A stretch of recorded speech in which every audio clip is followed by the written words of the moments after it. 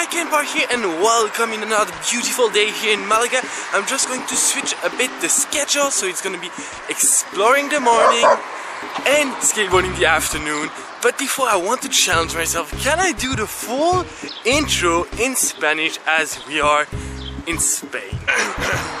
Hola como está mi amigo, bienvenido en un nuevo vlog en Málaga. Ahora vamos a mirar el mirador de Málaga. Está muy guapo, ma está a 6 kilómetros viajes con eh, eh, las zapatillas. No autographs, please.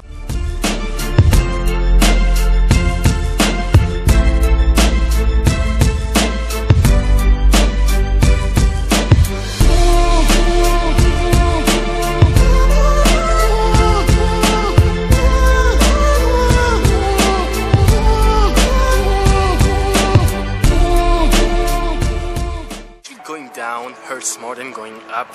You want a tip to not be hurt but look very ridiculous? Just have to go all the way down and so it doesn't hurt your knee. But I agree, yeah, well, you might look ridiculous. And the bonus part of walking backwards, it, you really feel like you are rewinding a tape like... Now we are in front of the Ruben Alcantara skate park in Malaga. The only thing in it is the title of the video, it is an outdoor skate park.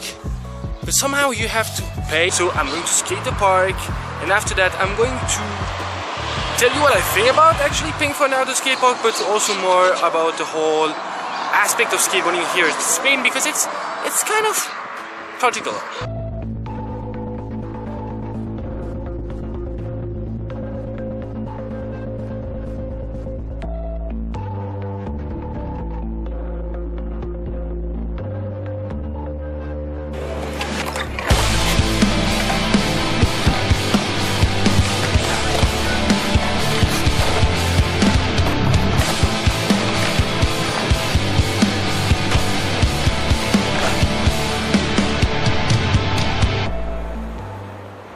Review time. Okay, um, I mean obviously this place is really great and uh, it's really good for training. And training is really the word because like when you walk in, you don't feel like you're going in a skate park and you feel like you are going in a training facility.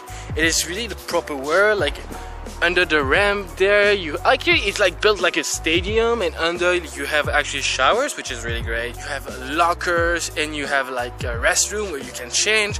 It is really built like like it is like if skateboarding was a sport and now I, I mean with the Olympics and all that stuff it is a huge debate. Like I said the park is great but my opinion is still I like to go in a park whenever I want not considering hours not especially paying.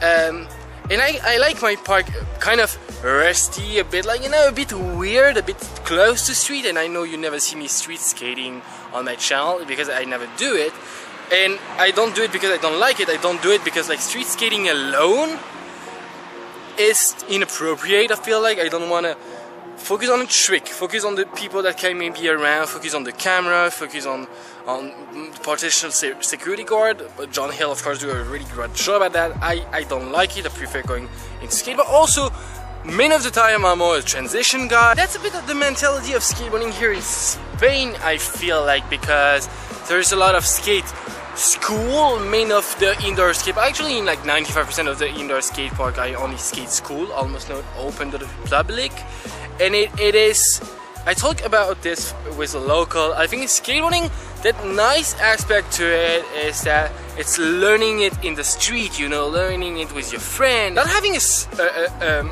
a sport approach of it. I, I don't know, it's a different approach of learning things and it's why uh, I absolutely loved it. Out of my mind just think that it's great, sport is evolving, God I use the word sport, but I mean our discipline is evolving and a, a second part of my, my brain is just like, I think a lot of skateboarders have that conservative uh, aspect of it and uh, maybe uh, yeah I'm a bit of a pre- prehistoric guy and I have like a bit of struggle to move on now the only real question I am asking myself is is it the true spirit of skateboarding uh, I mean get yourself your answer for me it is not really now let me tell you the story where I almost met Kilian Martin. So Kilian Martin used to be like one of my biggest inspiration. Now, a bit less, I moved a bit from freestyle. Uh, so, uh, like two days ago, I saw him posting a picture of him doing freestyle here and like riding the wave and I was like, okay, I'm gonna meet Kilian Martin, he's gonna be in the same city as I am. This is like my opportunity of doing my biggest collab and also meeting one of my biggest inspiration and still one of the, my favorite skater and so I text him honestly I was not accepting any answer.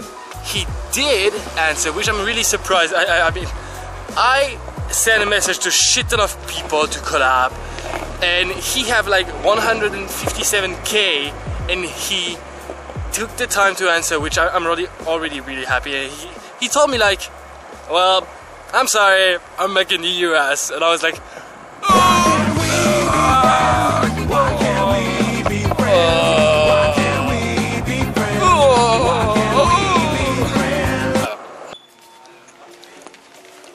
Yeah, very good, thank you.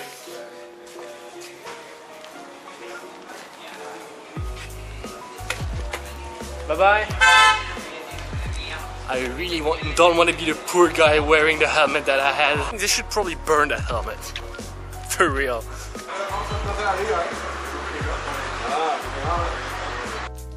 Good, very good, very very good. Okay, okay. Yep, you guessed it. I had ice cream for breakfast. I know it, it's probably really not healthy, but so satisfying. Also, you have to know that there is kind of an ice cream culture. I guess it's because of the warm weather.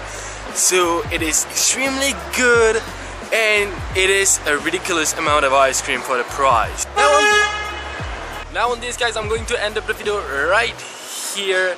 I really hope you enjoyed it and I would definitely love to know your opinion about paying for an outdoor skate park and our skate school and actually the whole spirit behind it. So don't forget to share your opinion in the comment section and of course like this video and subscribe for more content. See you very soon in another city guys. Take care.